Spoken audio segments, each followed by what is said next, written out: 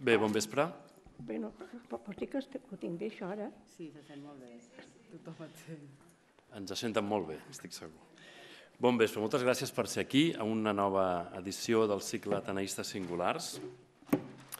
Avui tenim una ateneista singular, però la d'avui jo diria que és bastant especial, perquè avui tenim una ateneista singular que jo diria que és, de fet, doblement singular, perquè és singular per ella mateixa?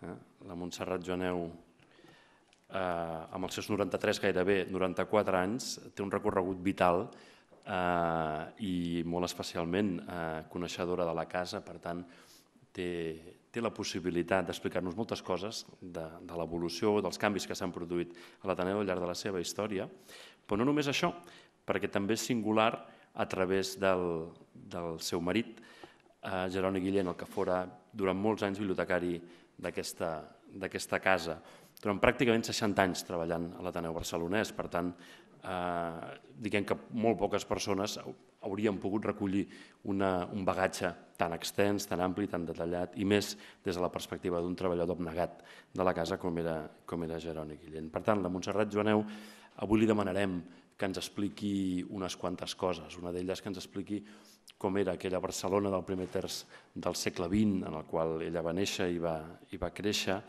Eh, li demanarem que ens expliqui des de la perspectiva d'una dona d'aquella època com, com era la vida a l'Ateneu i, i els, els entorns culturals i artístics del moment. I també li demanarem que ens expliqui quina visió té de l'Ateneu i del país a través dels records del seu, del seu marit. Tot això ho farem. Des de l'any 2007, l'Ateneu té la sort de disposar eh, dels papers de, diguem-ho així, dels papers de Jeroni Guillén, que és el recull de, de notes, una mena de dietari, de fitxes, que va recollir per deixar memòria de, de la seva experiència a, a l'Ateneu. Aquí n'hem portat avui una bona mostra i algun trosset el llegirem perquè ens fem una idea de com, de com era. I, i bona, bona part de culpa, diguem-ho així, de que tinguem aquests papers correspon també a les, a les netes de la Montserrat i de, i de Jeroni Guillén, la Eva Alfama, que ens acompanya avui, avui aquí dalt, i la Gemma, que em sembla que deu ser per aquí baix, aquí la veiem, que van, ser, que van recollir tots aquests papers i els van posar en un estat mínim per poder-lo portar a l'Ateneu. Gràcies a això avui l'Ateneu té un testimoni, el testimoni de Jeroni Guillén, de, molt, de molta primeríssima mà, sense el qual conèixer aquesta casa doncs seria una mica més difícil. Per tant, de tot això parlarem. Ben demanat a la, a la Eva que estigui aquí dalt amb nosaltres per ajudar-nos a fer aquesta repassada. Primer, però, ubiquem una mica la nostra, la nostra singular d'aquest vespre. Montserrat Joaneu va néixer el 1920 a Barcelona. Eh, la seva dedicació professional va ser com a secretària de direcció en una companyia asseguradora des dels 17 anys. Va estudiar Belles Arts a la Llotja de Barcelona. Va entrar en relació amb diverses personalitats del món de la cultura a través del Club del Llibre, un grup que feia vida social i, cultural en un local de, de la Rambla i mercès al qual coneixeria el que després seria el seu marit, Jeroni Guillén.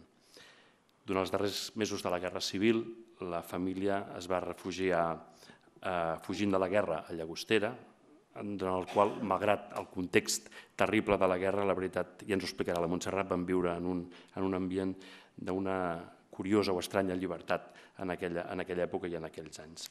El 1944 es va casar i en aquest moment va deixar de treballar.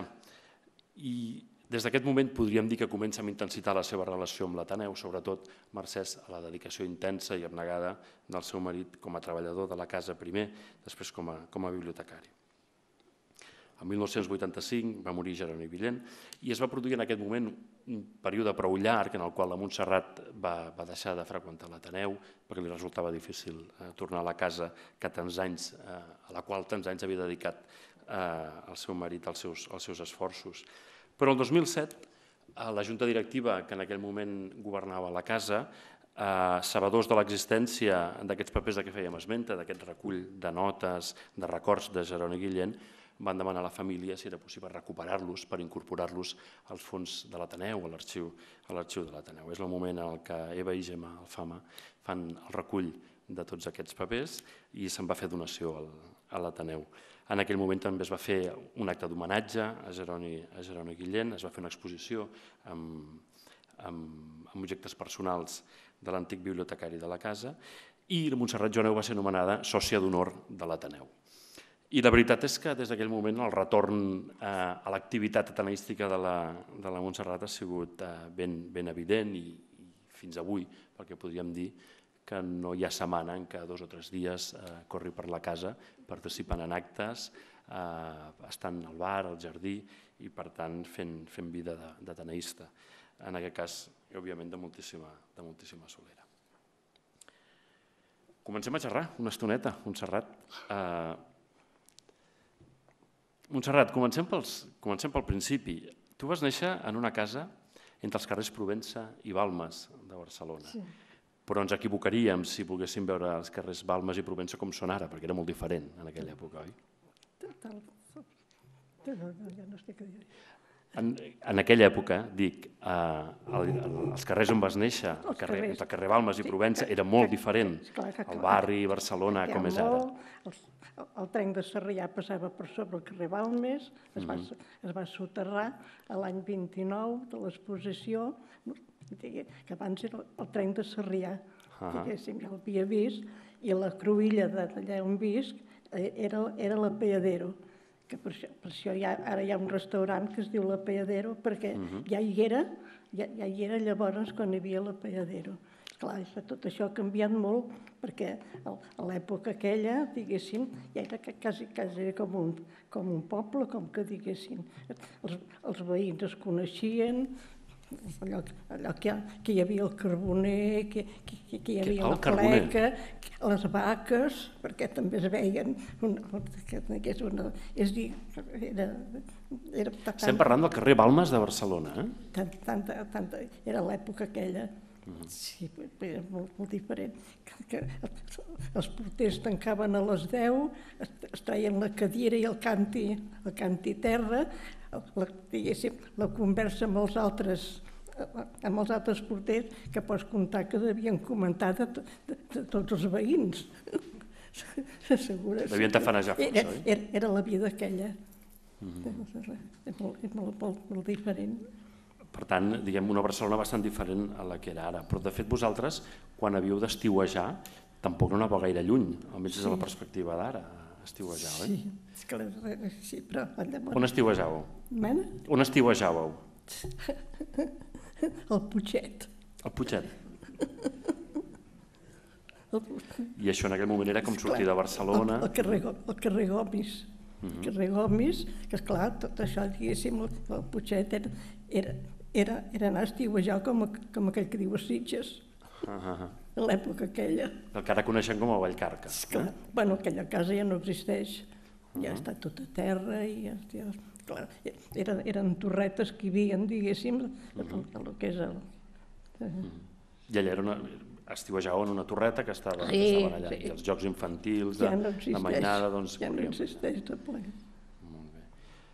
Com, com era la teva família? Diguem, a, a què es dedicava el, el teu pare, el, el, sí, el pare? Era apoderat d'una companyia d'assegurances. Uh -huh.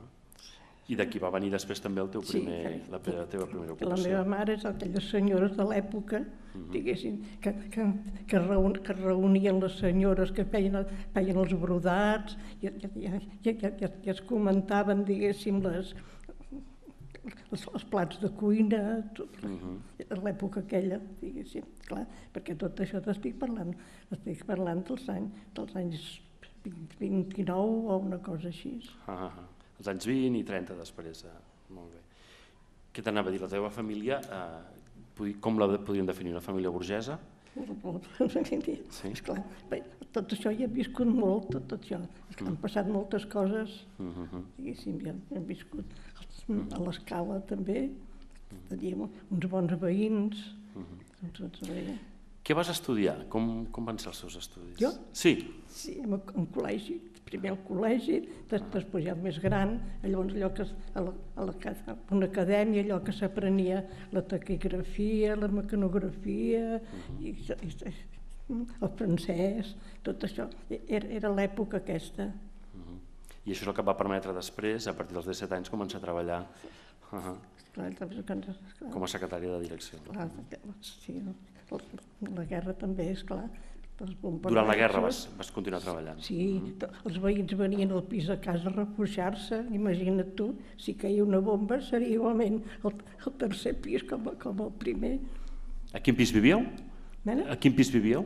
El, el, el primer segon. I els veïns baixaven al vostre pis a, El primer segon refugiar-se. baixaven. Clar, llavors, llavors baixaven, baixaven la família Tassis que estan, estan aquí, el Joan Amades que vivia al tam- també, pues, clar, diguéssim, com a veïns, sí, molt variats. Jo havia conegut el Rafael Tassis, perquè la, família encara hi va continuar visquent.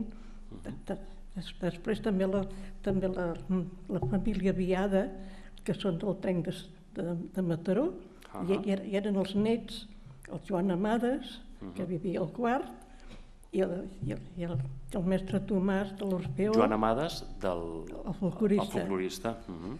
que, jo, que, que cada vegada que jo veig aquells cinc volums de costumari català són passats tots a, a màquina del meu marit. Dels- És a dir, que el costumari pujava i baixava l'escala.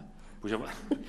Home, podem dir que abans d'aparèixer per l'Ateneu, diguem que ja vivies en una mena d'Ateneu, perquè el vostre edifici on vivíeu, diguem que a nivell cultural i referències literàries no, no en per, faltaven. per, Eh? això dic, per això dic esclar, he viscut molta, he conegut molta, molta, molta gent, i, Mm-hmm. clar, va, va, vaig veure en- entrar les tropes franquistes per davant de casa, perquè Mm-hmm. es, es veia. El 39, quan van entrar les tropes El franquistes... 39, que, esclar, el, el terra eren adoquins. Esclar, Llavors van sentir els cavalls, es- esclar, els veïns van sortir i, esclar, i es van veure l'entrada.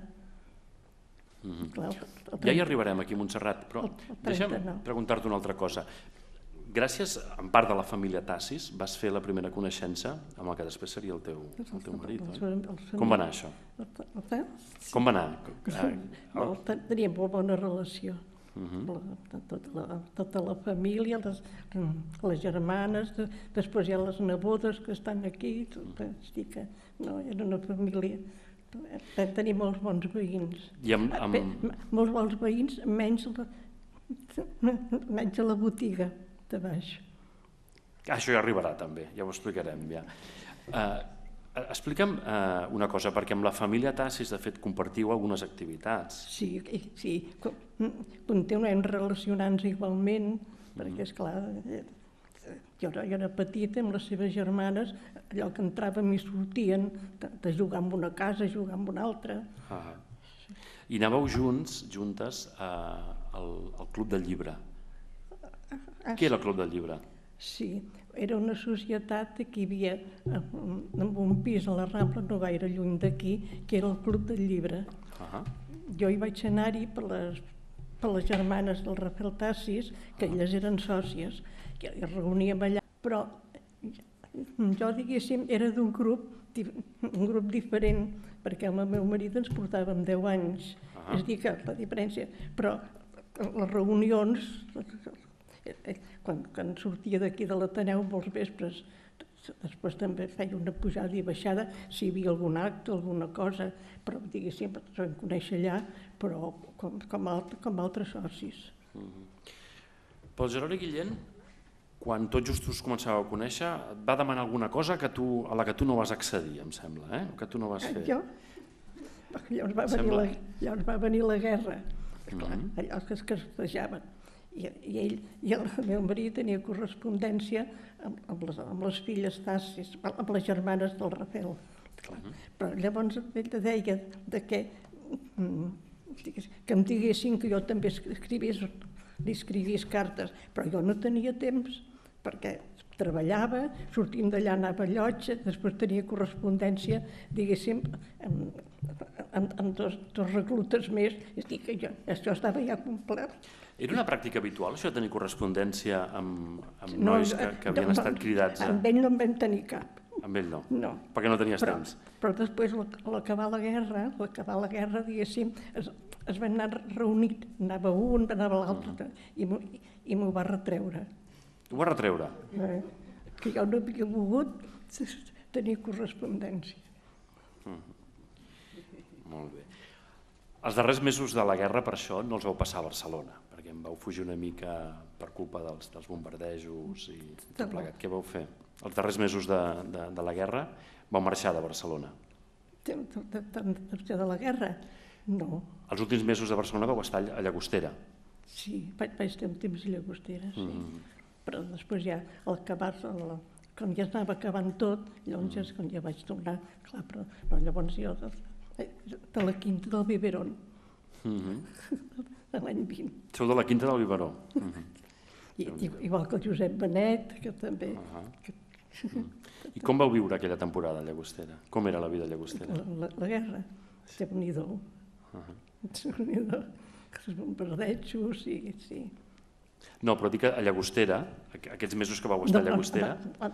No, no, allà és la vida, diguéssim, la, el temps que vaig estar allà, uh -huh. molt diferent d'aquí, la, la, la vida, perquè, és clar, el que, en, un, en un poble és allò d'una noia tenia més llibertat, perquè en aquí ni pensar sortir els vespres. Clar, i en allà sí, perquè un cop diguéssim d'haver sopat, allò que reuníem, anàvem en el, en el, en el passeig, un banc del al, al passeig, i es reuníem, allò, però esclar, aquí ni pensar-hi.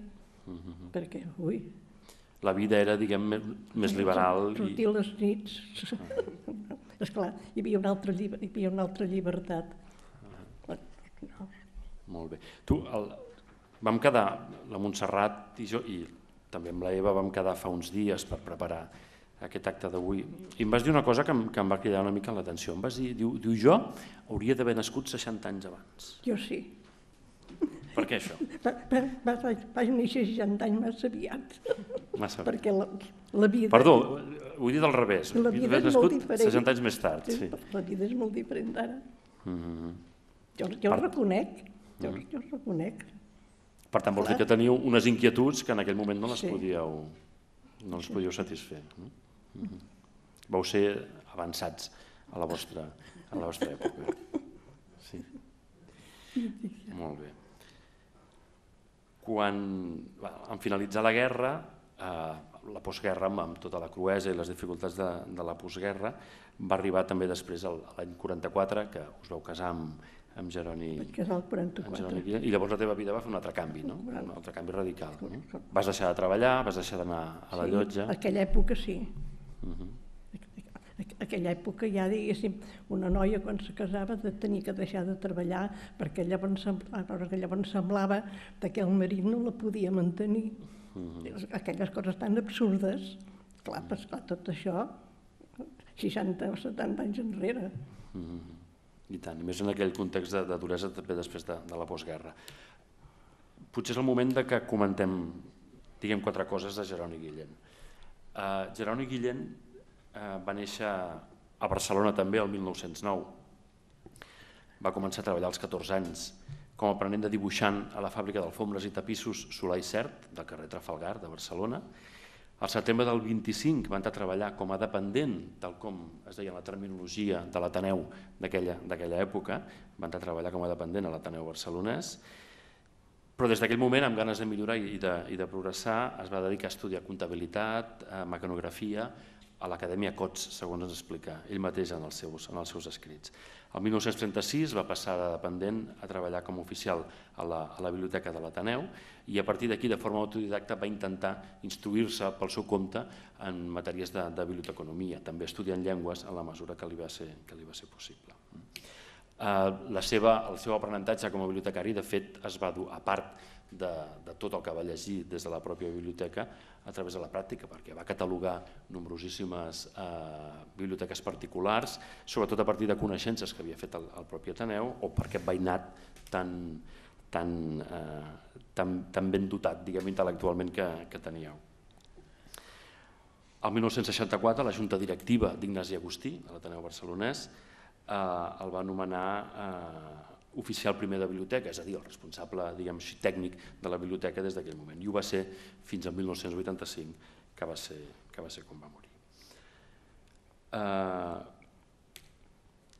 jo, uh, potser, per imaginar-nos, si m'ho permeteu, per imaginar-nos una mica com era aquell, aquell Ateneu,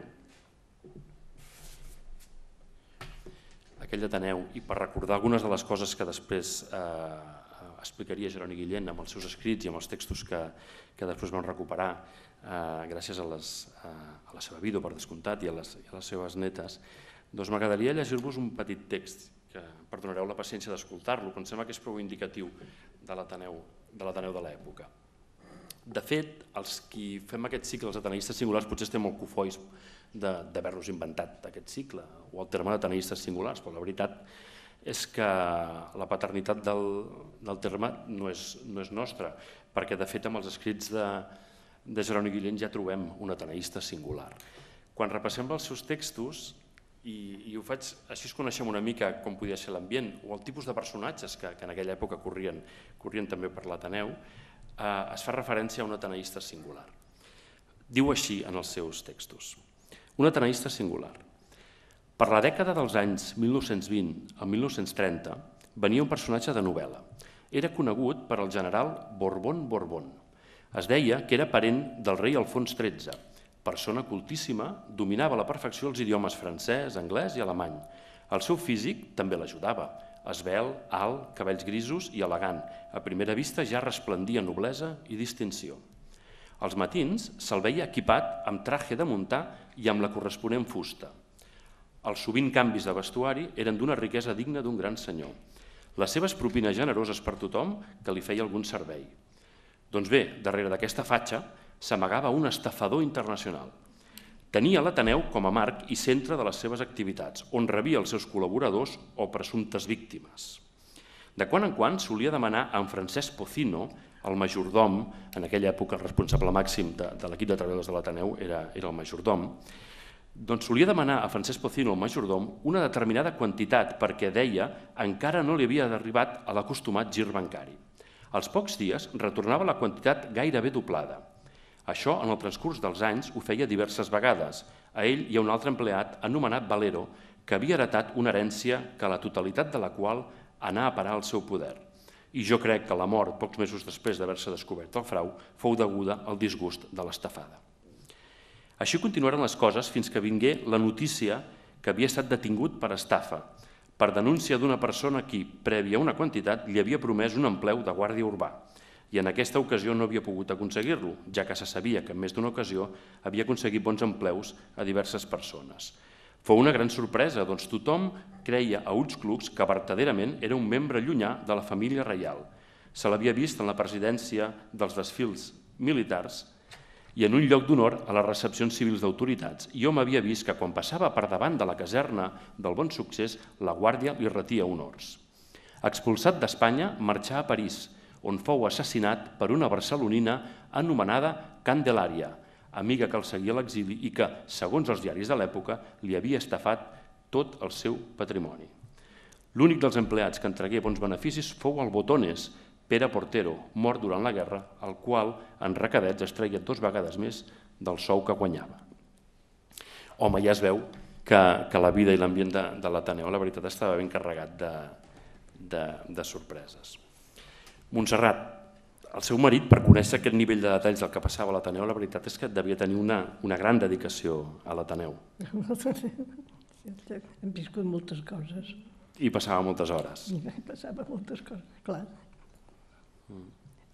Bueno, la història de l'Ateneu ja, ja s'ha escrit, però, és clar, el que, el que tu estàs dient ara és, és, la, és el que ell havia viscut a l'Ateneu, mm -hmm. que és molt diferent de l'història, és clar ell està, estava d'aquí a la biblioteca, diguéssim, tal com va passar el, el 6 d'octubre, el 18 de juliol, diguéssim, i el, i el 23 F, també, que, que llavors, diguéssim, jo escoltava la ràdio, diguéssim, i és que van dir l'alçament.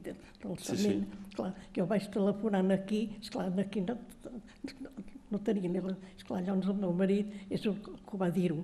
I llavors hi va haver una desbandada de, de, de socis, perquè, és clar era un moment que no sabia el que, el que passaria, tothom a casa seva. Mm -hmm. Però malgrat tot, l'Ateneu estava obert sempre amb aquestes dates. Per sí. molts trasbalsos que hi hagués sí, sí, a Barcelona sí, sí, sí. i l'entorn, l'Ateneu sempre tot, estava amb la porta oberta. Sí. El meu marit deia que era com la funerària. Com la funerària? no es tancava mai. So- so- Solament el, el, el divendres sant a la tarda, Mhm. cap, cap més dia. Per això, eh, I els tres bibliotecaris treballaven cada dia, no ara els turnos, no, cada dia. I a quina hora plegaven al vespre? Eh? A quina hora plegaven a la nit? Al, a les 12. A les 12 de la nit. A les 12, allà, a les, do, a les 12 aquí. I tu, mentre el, el, el teu marit feia la seva feina a l'Ateneu, venies a, a l'Ateneu eh, i... Jo? Sí. Venia, sí, però jo, diguéssim, ven- venien als actes públics perquè jo no era sòcia. Però no et deixava entrar, el Jeroni. No, llavors ja, era, bueno, ja, era, ja érem casats i jo igualment, però no. no ja, ja no vaig intentar, ja perquè ja sabia que, que clar, solament era, era el soci i la biblioteca, no m'haguera deixat entrar. Molt estricte, ni tan sols a la seva dona podia entrar. Doncs era- No, perquè jo em semblava que era un privilegi que, siguent jo la seva dona, po- podia entrar, fer ús de la biblioteca. Per tant, la fidelitat a la jo, casa ja no, era... jo ja no vaig gosar demanar, perquè ja sabia la resposta. Déu-n'hi-do. Montserrat, alguns dels episodis eh, històrics que, que, s'han, que han ocorregut a l'Ateneu a través dels Que- ulls que he viscut de l'Ateneu, sí, no, no o, el, o, el, o el teu marit, no? m'explicaves eh, aquest dia que ens vam veure l'episodi, el començament de la guerra, de la guerra civil, eh, quan eh, els militants de la FAI van intentar ocupar l'Ateneu. Sí, Com va anar això? horrorós. Clar, perquè, perquè llavors, esclar, es van presentar aquí uns quants escamots, diguéssim, el que és a l'entrada, i a l'entrada a la biblioteca també, hi, hi, havia, hi havia tres o, o, o quatre, diguéssim, amb els, amb els naranjeros, que en deien llavors les escopetes, en deien Els naranjeros. els naranjeros. Clar, i tothom, cada un que entrava a la biblioteca, els hi demanaven els papeles. Clar, però ja en aquell moment... I, i, i, un del, I un dels que van entrar, diguéssim, era el, el mestre Fabra i no portava els papeles.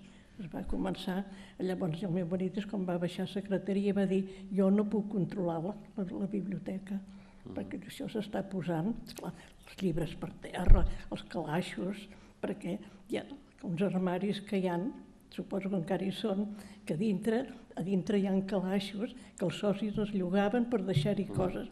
Com que estaven tancats, els van rebentar i tots els papers d'aquells socis, tot, dir, que van, van anar tots per, per terra.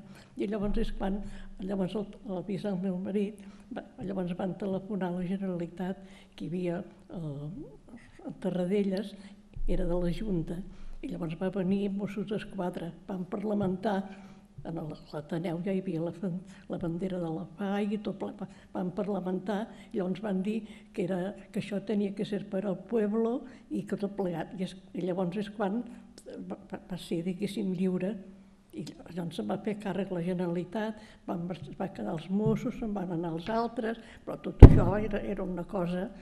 Mm.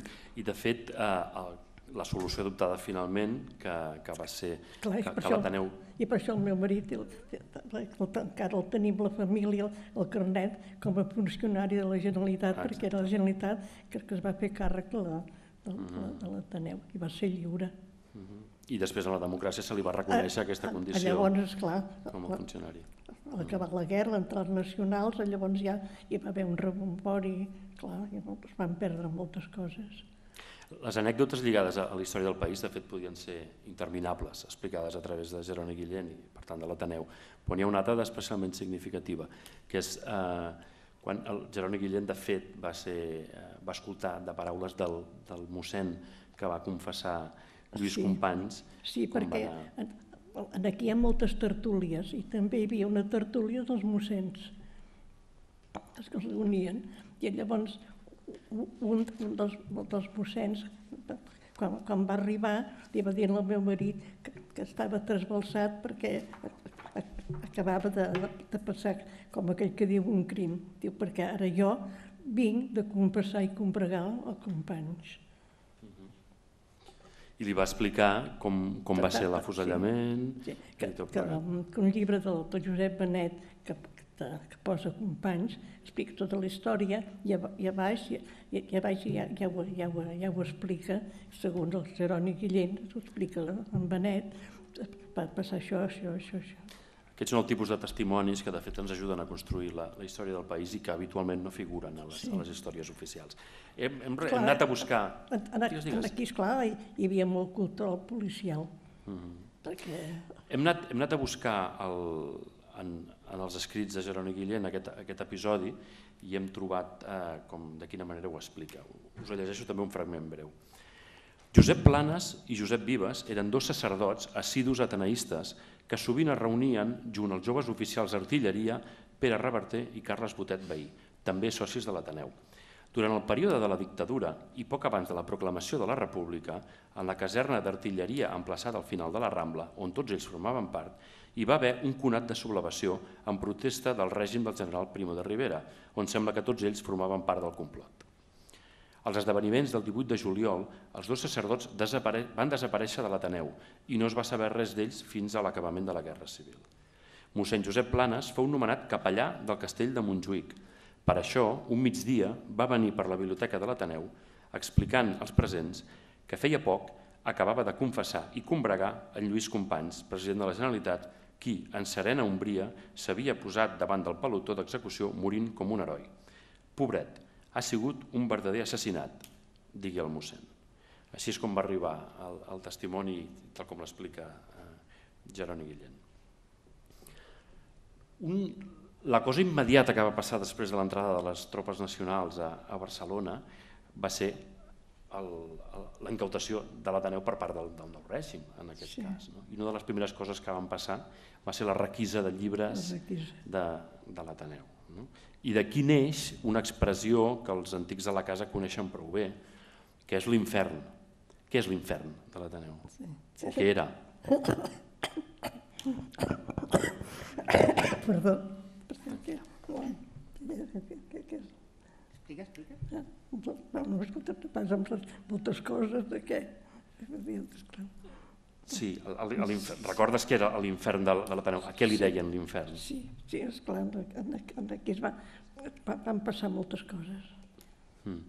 Els socis i, escolta'm, Però l'infern era el lloc on eh, es van guardar tots aquells llibres que les noves autoritats franquistes Sí. van requisar. Es, es van, re, van retirar, diguéssim, i van portar els llibres a l'infern, que es diu vulgarment, ai, perdó, que, que vulgarment es diu, que es diu l'infern, és clar, i llavors, diguéssim, el, el, el doctor Salaric, que era, que era bibliotecari de Junta, que, que el meu marit era els que li va catalogar la biblioteca, que llavors vivia al carrer Balmes i Diagonal, un pis preciós.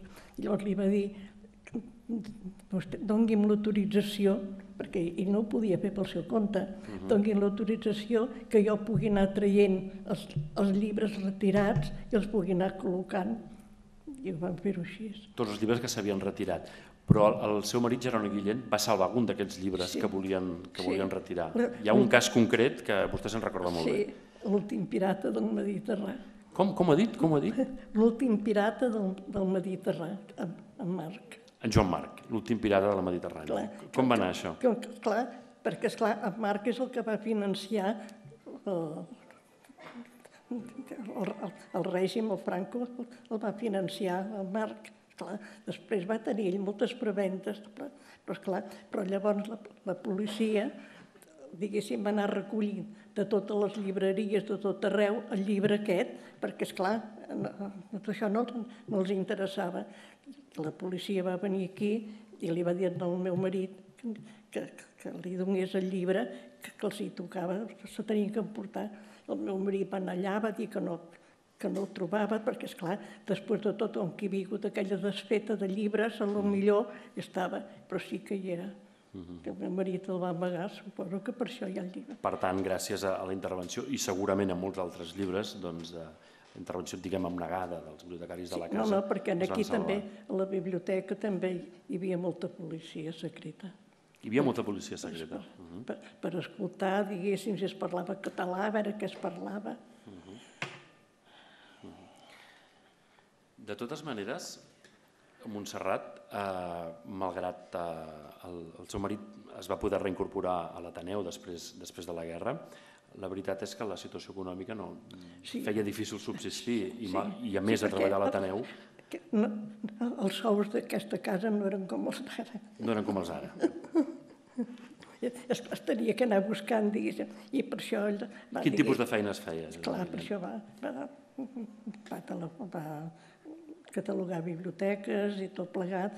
Després també molt- moltes tessines, diguéssim, també, també les va passar, la va passar màquina. De- Després també el, el, el Ferran Canyameres, el Ferran, que és, que és l'editor i, i, i, i escritor. I- I... Esclar, llavors ell, ell, ell el, Canyameres és, és, és, el, és el que va traduir els Simenons. Uh -huh. Els va traduir. Però en Canyameres escrivia a mà. Llavors donaven al meu marit, passava les, la, tot, la, les quartilles a màquina, i és clar, i a casa van ser els primers que vam llegir els Simenons abans que sortís de l'impremta. Esclar, però són uns quants Simenons. Les novel·les del Simenon les havíeu llegit abans de, de que, es, que es Sí, publiquessin. Que, que hi, ha una, hi ha una pila. Mm. Vosaltres, de fet, teníeu un segon Ateneu eh, a, la, sí, a casa vostra. Sí, que estan anant aquí. Bueno, I també, igualment, que, que el Canyameres també tenia molta amistat, di- di- di- diguéssim, amb el, amb, amb el, això, amb el Josep Canudes.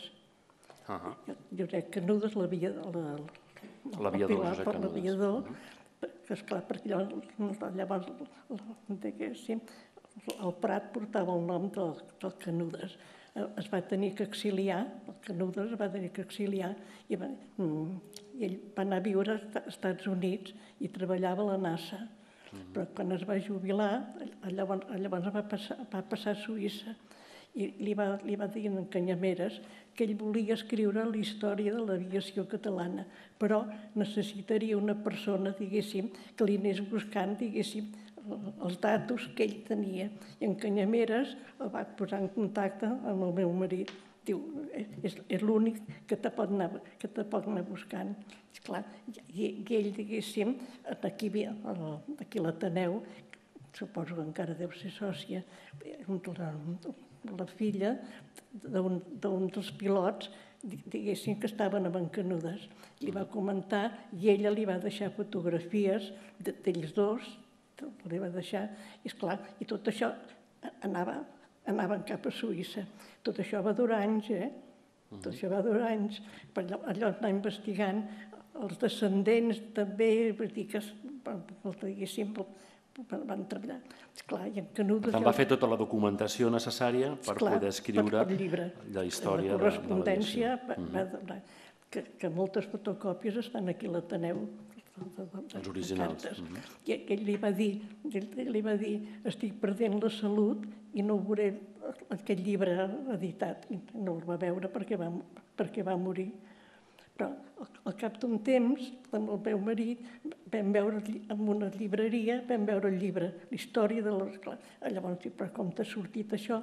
Perquè els originals, el, el Canudes els va enviar, perquè el meu marit els tenia que portar a Catalònia, i els va donar en Cruzet, però en Cruzet va A morir... la llibreria Catalònia, que és on hi havia l'editorial a la Selecta, que Ronda, portava Perquè Cruzet. estava a la ronda. Bueno, i- però el va donar en Cruzet. En Cruzet, ja saps tu, que quan va morir, esclar, es, es va perdre tot allò, ja no sabia on eren. Però, esclar, però, però al veure la data, dic, dic, escolta'm, potser hauríem de mirar per curiositat, diguéssim, com és que han arribat, han arribat això, perquè eren els originals. I, el, I el meu marit diu, mira, diu, diu, diu, saps què? Deixem-ho estar. Només la satisfacció de veure que la feina de tant temps ha estat editat, jo ja en tinc prou. De sobte, un cop mort el meu marit, llavors jo, amb un amic meu, en Marca, el llibreter de vell de la plaça Sant Just, ho vaig comentar, i diu, si tens curiositat, jo et faig una, una tarja i, i, i, i, i, vas, diguéssim, amb el director de, de la Magrana, De la Magrana, que, és, eh, Que- que és que ho editat. havia editat el llibre. jo cap a la, cap a la Magrana. vaig comentar, i llavors, llavors deia, la secretària diu, ui, miri, aquest senyor està molt ocupat, ara no es té, perquè ara, ara bueno, per començar, diu, miri, vingui d'aquí d'aquí vuit dies telefona, llavors ja li diré, a veure, a, a, a, a veure si segurament la rebrà.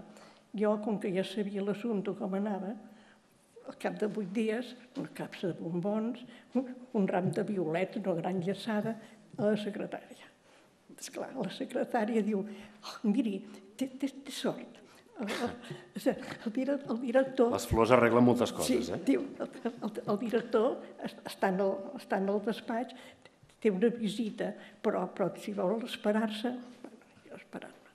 Clar, jo portava un sobre amb, amb correspondència d'en Canudes per, de, per demostrar, diguéssim, el, el motiu que hi anava, que no hi anava perquè sí.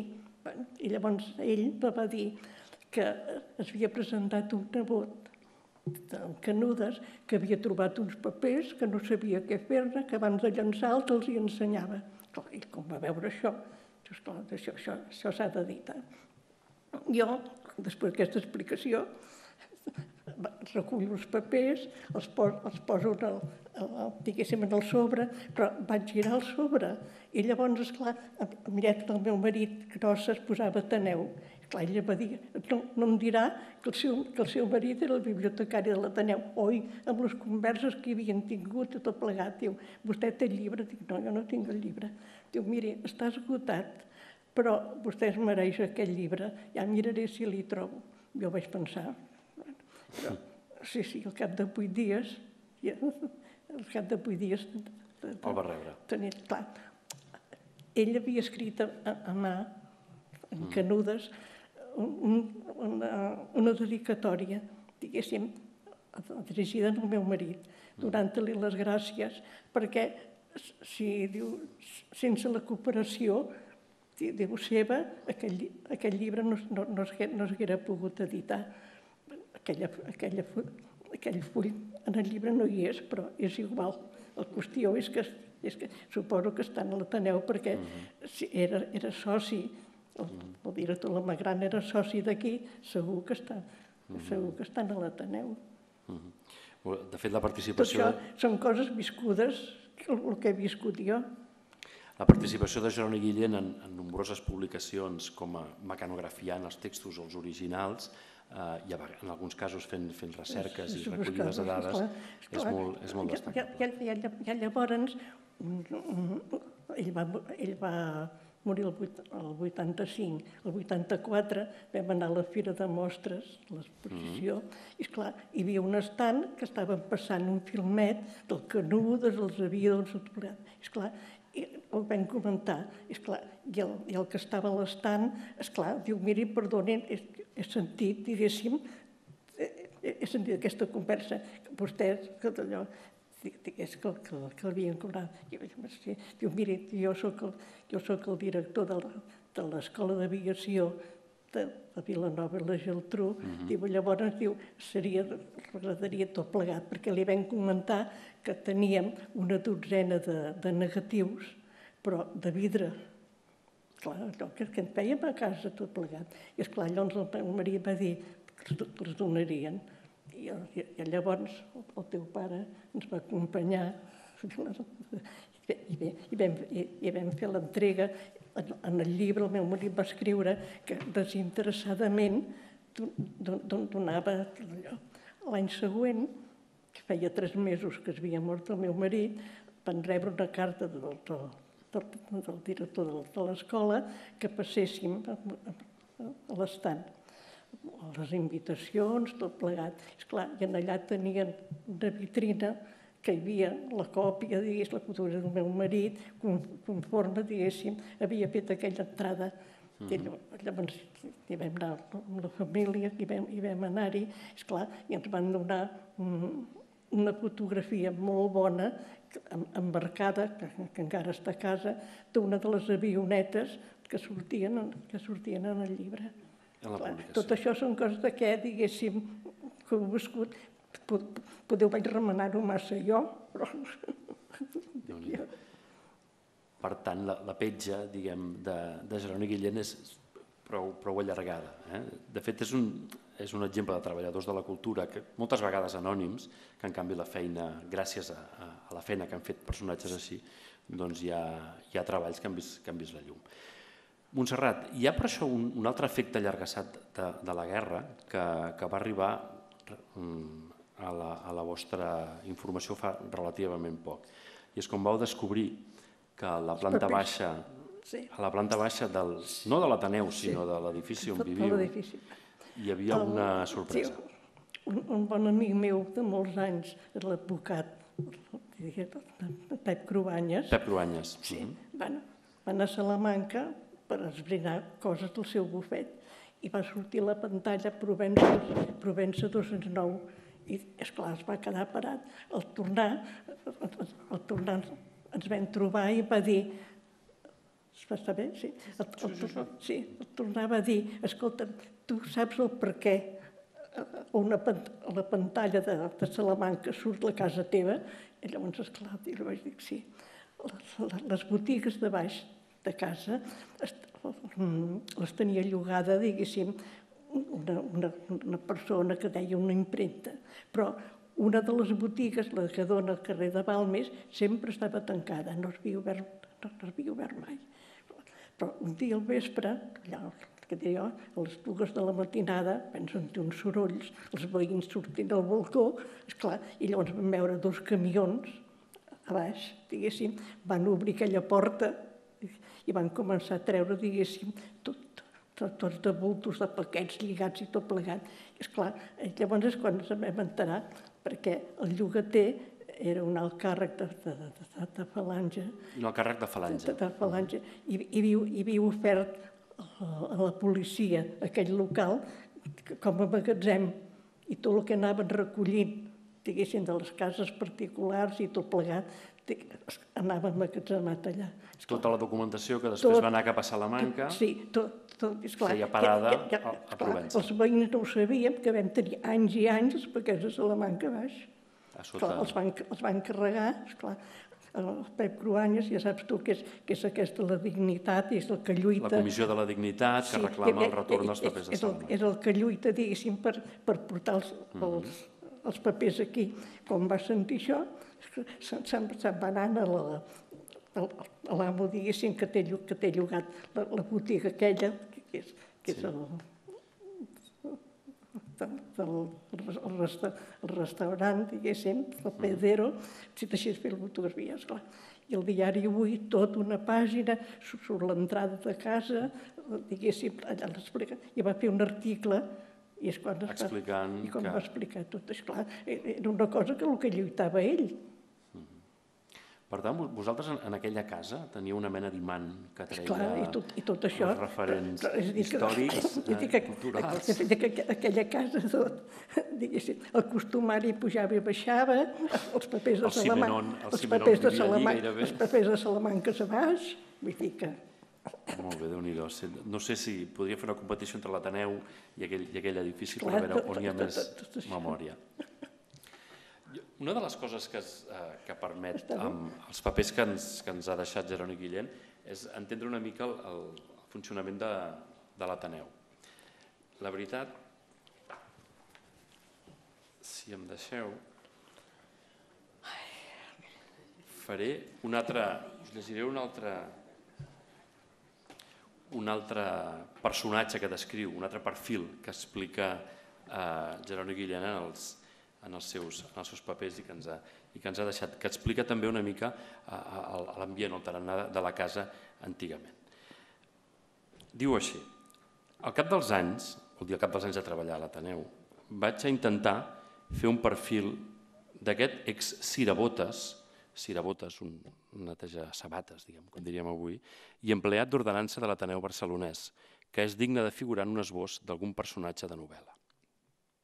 Era Joan Dols, era valencià que havia entrat de cirabotes a la barberia de l'Ateneu, suplint, segons deien, a un altre que havia estat butxí. Era un home alt i sec com una, amb, i amb una pinta de gitano, bon treballador i amb una gran dialèctica inventiva que convencia de primer moment. Tant és així que va convèncer en Francesc Camps Margarit, membre de Junta, perquè el fes entrar d'ordenança l'any 1931 o 32. Quan va estallar la Guerra Civil, per al que es va saber després, va actuar de patrullero de control i venia a treballar amb una pistola a la butxaca. Una vegada va ensenyar-me un rellotge Roscoff, que en digué havia sostret d'un cadàver encara calent d'un capellà que acabaven d'assassinar a la carretera de la Rebassada. En veure la meva sorpresa, digué tot seguit que ell no hi havia intervingut, només els acompanyava. Quan en l'incendi saqueig del convent de clausura que hi havia on avui és la plaça Vila de Madrid, darrere d'aquesta paret, junt a l'Ateneu, també deia que havia fet d'observador en aquesta proesa, però del barri l'havien vist com entrava i sortia a diferents hores emportant-se estris del convent. Em va invitar si volia visitar les restes del convent que quedava. Vaig acceptar com a curiositat i comprovar a la vegada com coneixia tots els racons com si hagués viscut tota la vida en aquell recinte. Des de les cel·les al rebost i el cementiri privat era un passeig per ell. Dels darrers mesos de 1937 al gener de 1939, tot el que sé d'ell és per referències, ja que jo vaig tindre que marxar mobilitzat al front d'Andalusia.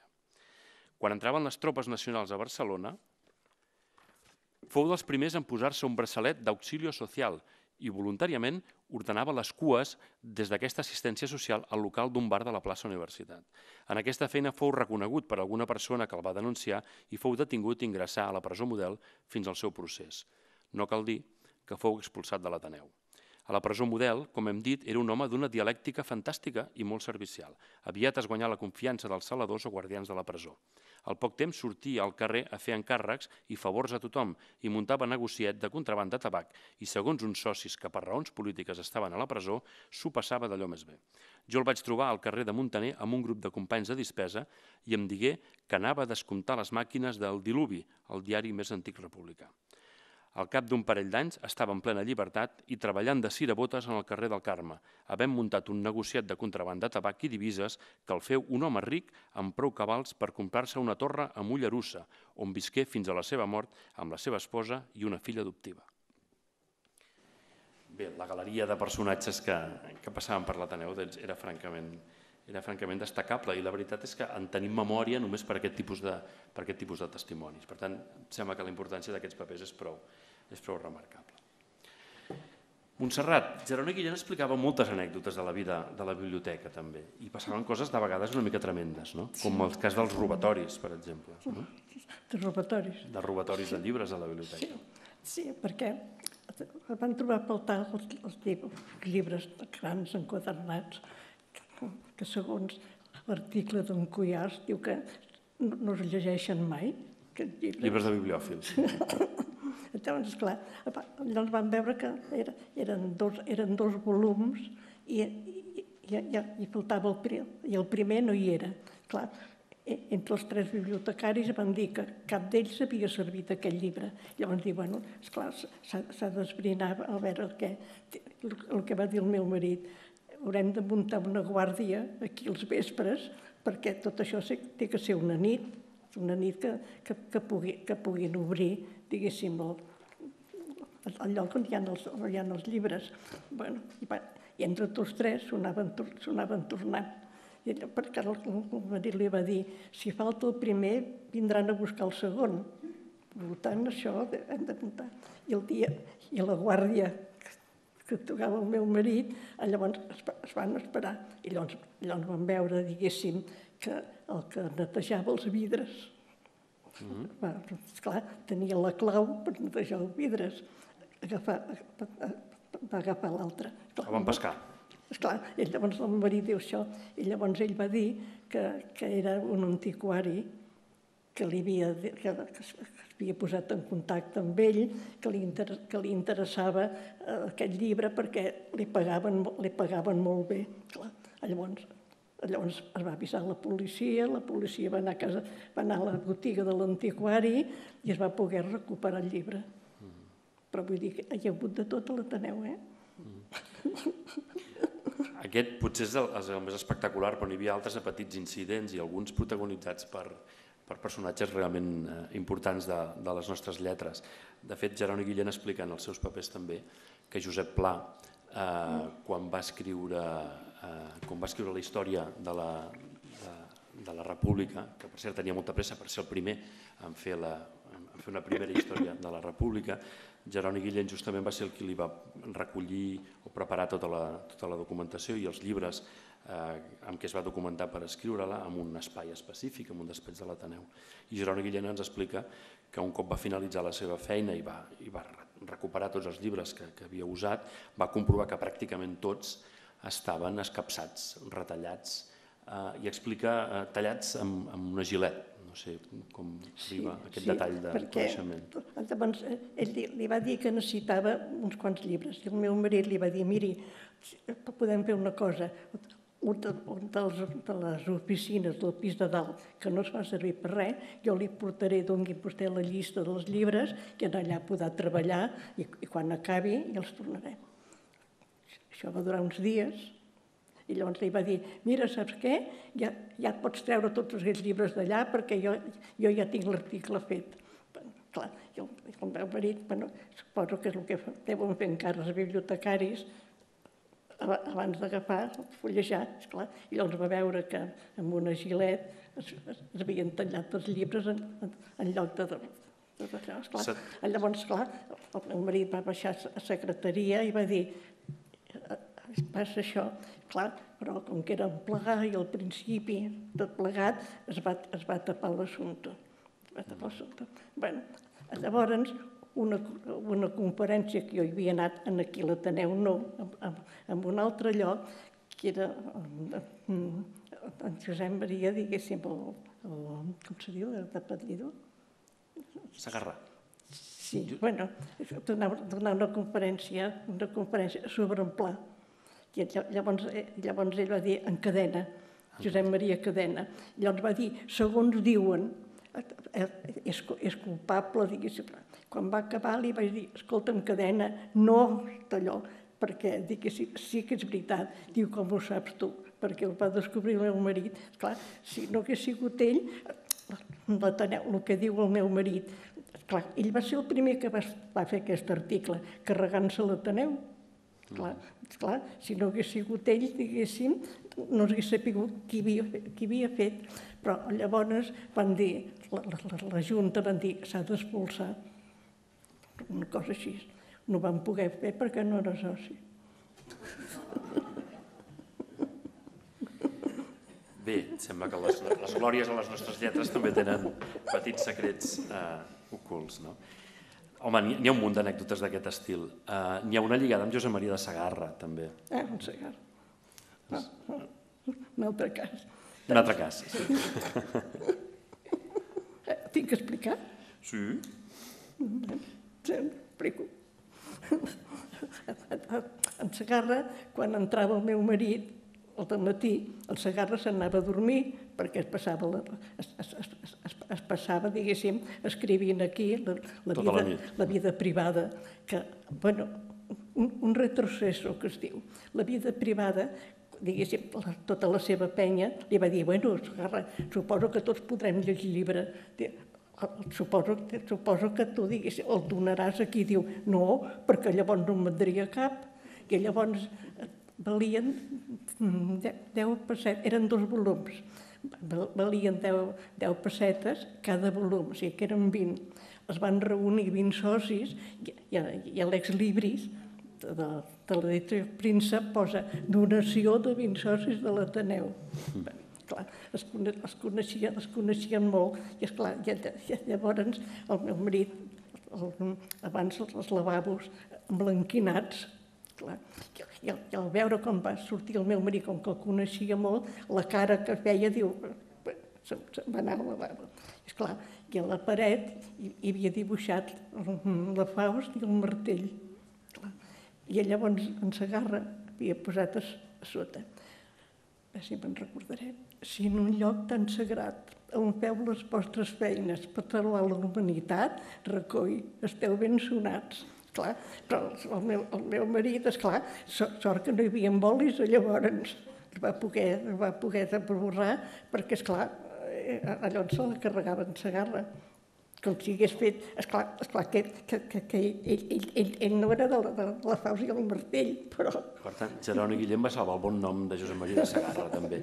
Jo, l'esforç de memòria és meritori, però, si em permeteu, remenant els papers he trobat el, el passatge on Jeroni Guillén ho explica, i és molt curt, i diu, diu així. Era per l'any 1950. En els serveis de l'Ateneu es veien sovint dibuixades el símbol comunista de la falç i el martell. Una persona que jo crec identificar en Josep Maria de Sagarra per la raó que feia un moment que l'havia vist sortir d'allí on vaig trobar escrit al peu de l'espantat anagrama comunista aquests versos. Si en un lloc tan sagrat com és el de fer les vostres feines, dibuixeu aquestes eines per salvar la humanitat, recony, esteu ben sonat. Sí. Efectivament. Esclar, era, era, era, era, era, era, era propi Sagarra, això. Sí, sí, sí, i tant. Faré un, un, un últim, un últim text.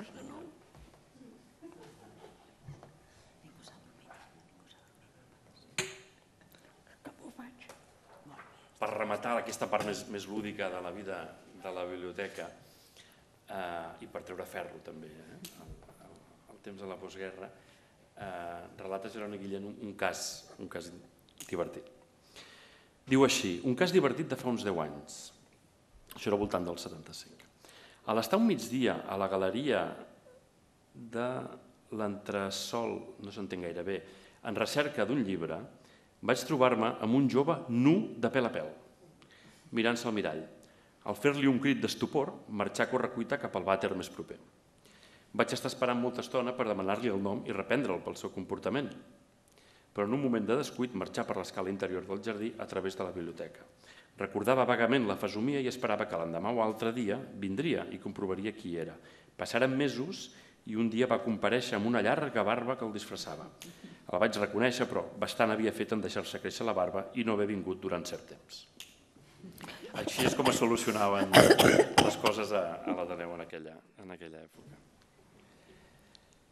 Bé, eh, la veritat és que, com podeu veure, tinc la taula, no, no ho veieu des d'aquí, però tinc la taula escampada, escampada de papers. Podíem, ens podíem, passar, podíem fer tres o quatre actes com aquests, recordant anècdotes i recollint, i recollint eh, episodis de, de la vida de la vida de l'Ateneu. El que passa que jo no vull, jo no vull que acabem l'acte d'avui sense preguntar-li a la Eva com va anar eh, la recuperació d'aquests papers del, del seu avi, que com dèiem va, es van, van arribar a l'Ateneu, es van portar el, el 2007.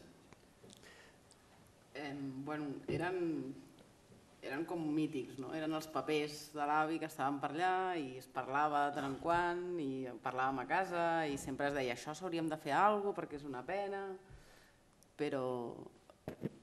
Se sent? Sí. sí. I, però bueno, ningú s'hi acabava de posar, no? perquè també, bueno, primer estaven com allà... Esclar, perquè el meu marit va, va, va, va morir sense tenir-ho que poder-ho sense endreçar-lo. Sense poder-los acabar. No, no estan corregits, no? estan com... Li faltava... i estava treballant. I llavors estaven, estaven localitzats tots, a més, amb les fotos, i havia... però diguéssim que a ella li costava molt enfrontar-se perquè era una part de la seva vida molt important, no? I a casa sempre en parlaven i, i, i sempre, la meva mare sempre deia això hem de fer alguna cosa, no sé què.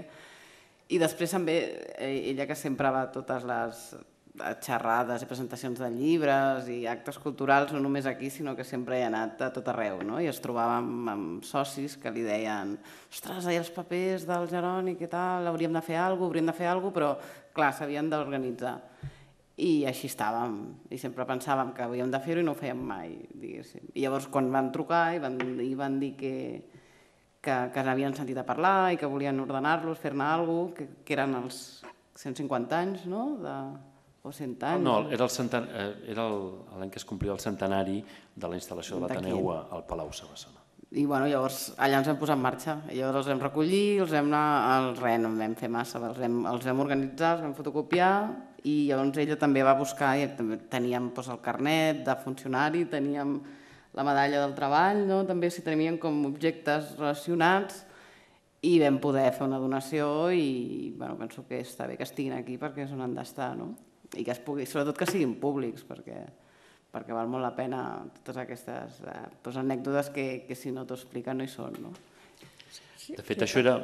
Digues, digues, Montserrat, i tant. No, per, per, perquè, diguéssim, cada any rebia una targeta d'en Benet i, i, i d'en Manent. Senyora Guillem, D'aquí, aquells papers no poden córrer per calaixos, té que fer una determinació. l'Institut d'Estudis Catalans i la Biblioteca de Catalunya sabien que existien aquests papers Uh -huh. i, i me'ls van demanar, però les netes van dir que la vida de l'avi era l'Ateneu. Si tenia que fer, diguéssim, donar, tenia que tenir la, la, la donació aquesta. Clar, llavors, diguéssim, veure, em van orientar molt perquè, diguéssim, jo hi anava, diguéssim, a casa d'en Benet i d'en i d'en Manent i teníem, i teníem, més, a, a tenir amistat, diguéssim, al carrer Calvet, el, el, el, diguéssim, el, en Benet, Sí, i, i, i, i, i, i, i, i, de- i, de- i de- després, després en Mane- en Manent, de- a la República Argentina, tenia. I esclar, ells me van orientar molt. Diu, té, té dues opcions. Pot fer una deixa a l'Ateneu, diguéssim, però, diguéssim, llavors, però, però, o si no, fer donació. Si fa donació, vostè ja no, esclar, ja no són meus. Bueno, és, clar. I llavors, en, en Benet, quan, quan tenia, diguéssim, el despatx al Palau Moja, que venia cada dia a dinar a la- a l'Ateneu, amb l'Àngel, esclar, llavors em va dir, això, això ho té que solucionar tot, tot, tot plegat. Llavors, bueno, molt bé. Després en, després en, en Manent també, també igualment. I, esclar, I llavors és quan llavors em van telefonar, diguéssim, el, el Ferran, el Ferran i el, Ferran Burguillos, El que era Ferran el Burguillo, bibliotecari, que- el successor de Jeroni Guillem. Sí, Ferran sí, Burguillos. d'allà, diguéssim, i, i, i, i, i, i, i després en... Joaquim i Coll, després el Coll. i el bibliotecari de la Junta Sí, d'aquella època. llavors diuen, jo li vaig dir, i tu com te n'has enterat que hi ha aquests papers? Diu, perquè en Manent m'ho ha dit. Mm. És que és quan vam venir a casa, a veure coses que vam donar, coses que vam deixar, diguéssim, diguéssim, però... Diguéssim. El 2006 l'Ateneu va celebrar el centenari de la instal·lació de l'entitat en el Palau, el Palau Sabassona i a partir d'aquí es va fer tota una sèrie d'actes de recuperació de, de la memòria de la casa. I això va derivar al 2007, que es va fer una exposició amb tots aquests objectes sí. personals de Jeroni Guillem que, es va, que es va fer donació com a homenatge a Jeroni Guillem i va ser el mateix acte en el qual es va anomenar sòcia d'honor Sí, a, a Montserrat i, llavors, quan, uns quants socis, és quan l'Ateneu i, la- Junta van demanar, diguéssim, a la Generalitat, llavors, hi havia el, el president Pujol, diguéssim, per, perquè li donés la, la medalla a Francesc Macià i li va concedir, que, que també va estar exposada aquí, la primera medalla a Francesc Macià. Sí. Que, que en aquell, que Això, en això aquell, és anterior, sí. Sí, que en aquell totxo de llibre de l'Ateneu surt la fotografia que li posa la Ah, en el totxo, el, el llibre d'història de la- que, que, que, l'Ateneu. li posa, que, li posa, que li posa la medalla. Molt bé. Per tant, el que es va fer va ser recuperar la memòria de- d'un personatge important per a la història de la casa, òbviament com va ser, com va ser Jeroni Guillem i el reconeixement a la seva esposa, Montserrat, Montserrat Joaneu. Mm, De totes maneres, també el, em permeto explicar a la xerrada de l'altre dia que, que el Jeroni Guillem tenia alguns, diguem-ho, tics professionals que, que s'encomanen. No sé, no sé si m'ho ha d'explicar la neta o, o la pròpia Montserrat, això. No facis enraonar més. No, perquè te, facis enraonar més perquè, escolta, els, els oients ja, ja es deuen començar a mirar el Oi, jo, els rellotge. veig molt, jo els veig molt interessats, eh? No veig que Ja, ja es deuen començar a mirar el rellotge perquè l'assumpte ja és massa llarg. Anem acabant. No, jo vol- volia explicar que, que de fet la Montserrat continua fent recull de documents, retallant diaris, que era una cosa que havia fet... Eh... Sí, una de les coses que vam trobar amb els papers és que hi havia articles retallats de l'any 40 i antics que havien anat retallant quan parlaven de l'Ateneu i els posava en un paper i els guardava. No? Feia com una mena de recull de premsa propi.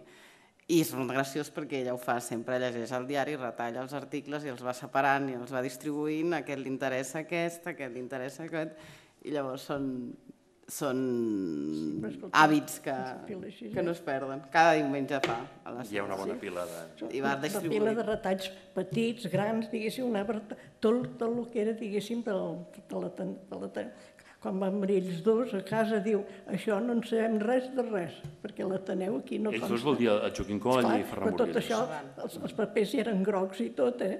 Mm. tot, tot els anys. Per tant, aquell dia l'Ateneu, l'arxiu, la biblioteca de l'Ateneu es va enriquir una miqueta sí. més amb la, amb la vostra aportació. Bé, no ho allargarem més fins aquí. Em sembla que, de fet, la, la sessió ha estat plena i carregada de- d'anècdotes, d'episodis, de, de coses gracioses. La Montserrat ens deia al començament que, que li semblava que, que, que havia d'haver nascut 60 anys després per poder gaudir Abans. de, de- d'un munt de coses que potser en la seva època no, no, no va poder, però vaja, si amb 93 anys eh, cada setmana la tenim a l'Ateneu, dos o tres dies, fent vida de, de taneïsta, la veritat és que certament eh, amb, amb 60 anys menys, la veritat és que eh, ens costaria molt poder explicar tot, la quantitat de feina que podria arribar a fer com a, com a taneïsta. Sí, en, en, en, sé molt, en sé moltes. En sé moltes. Molt bé. Doncs bé, com que és una taneïsta eh, constant, fidel i la podem trobar amb tota freqüència per aquí per la casa, tenim encara moltíssimes oportunitats d'escoltar els seus records, els, els del seu marit també, i de, i de conèixer-la Bueno, de doncs jo conèixer bé. don- dono gràcies a l'Ateneu i, i tot el personal que, que ha col·laborat en tot aquest acte, que jo em va costar molt de dir que sí. Va costar molt que sí. I, de, de, de, i, després també també dono, la, dono, la, dono les gràcies a tots vostès que m'han acompanyat. Em permeto explicar... Ah, però, però, I després, Digues, digues. però, que vostès que m'han acompanyat i de què, com vulgarment es diu, aguantar el rotllo.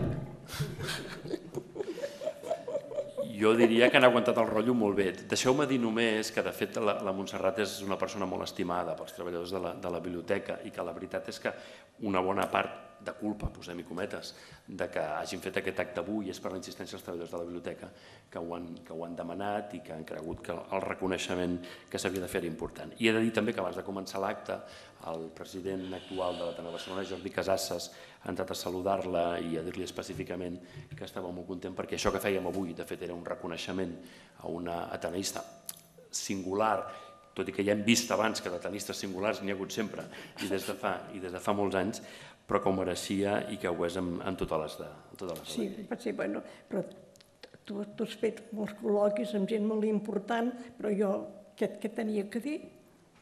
Home, home, però que hem dit poques coses, que hem dit poques coses i perdoneu, però jo tinc bastants, bastants eh, fulls senyalats encara d'aquests papers i en podríem dir unes quantes més. Eh? Però com tu has dit, Montserrat, no hem de cansar el públic i l'hem de deixar amb un bon regust de boca. Gràcies. Moltíssimes gràcies, Montserrat, i et continuarem veient pel jardí veient, de d'acord, d'acord. Moltes gràcies per haver assistit. Ah, Oh.